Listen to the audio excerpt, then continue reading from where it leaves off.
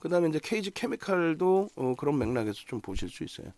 음, KG 케미칼 에, 기준에서도 일단은 에, 똑같이 쌍용차 인수전에 대해서 그럼 왜 KG 스틸을 보고 KG 케미칼을 보냐? 먼저 이제 시가총액이 KG 스틸이 더 커요.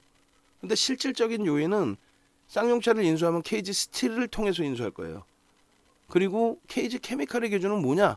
KG 케미칼은 지주사 성격이 있습니다.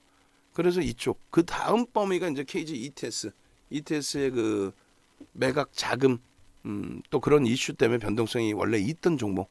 그래서 KG 케미칼은 지금 현재 기준은 어떻게 되어 있습니까? 금요일까지 단일가 매매를 했어요. 그리고 이제 월요일부터 단일가 매매가 풀리면 변동성이 나올 수 있죠. 그래서 이렇게 기준을 잡아드린 겁니다. 결론적으로 어, KG 케미칼의 기준 거래량은 천만 주를 설정을 해놨어요. 천만 주. 시가총액은요. 6천억? 얼마 안 돼요. 조회 공시 요구를 했는데 에, 어 우리는 지금 검토 중이다. 이렇게 이제 4월 7일 장중에 나오게 되면서 4월 6일 날 시간에서의 그 강세 부분이 4월 7일 날 뭐 아랫방향으로 훅 하고 밀려 내려왔었죠. 그러고 나서 이제 다시 돌리고 나서의 흐름이 되는데 뭐 아직까지는 이슈의 한 복판에 있습니다.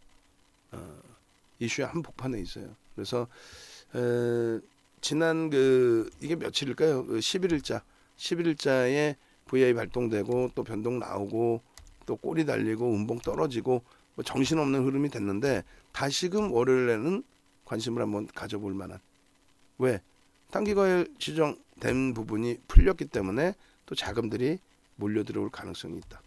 아시겠죠? 그래서 KG 스틸, KG 케미칼 이 정도에서 설정 범위 보시고 철저히 기술적으로 거래 터지고 양봉일 때 그리고 거래가 둔화되고 꺾이기 시작하면 고점 대비 1% 혹은 1.5% 5분봉 지금 단일가 매매잖아요.